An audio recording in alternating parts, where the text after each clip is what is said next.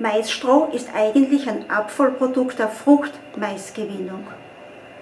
Die Gleisdorfer Künstlerin Irmgard Eichselberger hat sich darauf spezialisiert, dieses scheinbar wertlose Produkt zu aussagekräftigen Kunstwerken zu formen.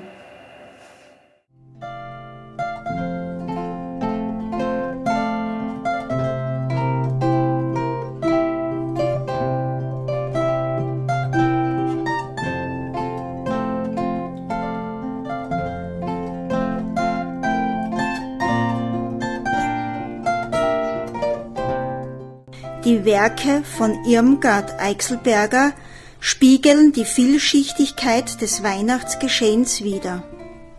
Volkstümliches Brauchtum, religiöse Rituale und biblische Ereignisse überlagern sich und finden in ihren Kompositionen Einschlag. Turmbläser, Mettengang, Neujahrsgeiger,